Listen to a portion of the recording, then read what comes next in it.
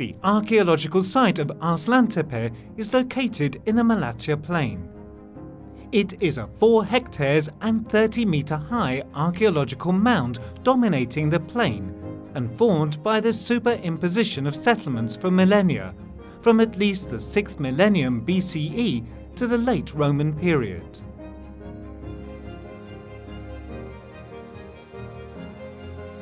The long history of the site, located at the crossroads of the main civilizations of the Near East, reveals crucial events and processes of change in connection with the contemporary developments in Mesopotamia, Anatolia, and the South Caucasus.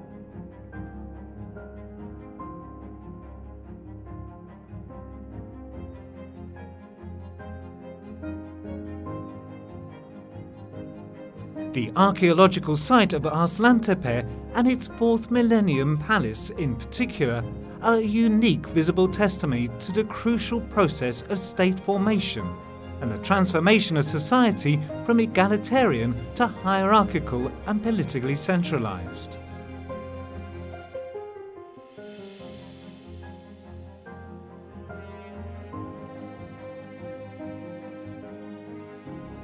Moreover, the palace is the first example in the world of this type of architectural and functional organization of power, which antedates of 5-6 centuries the well-known third millennium palaces of the Near East.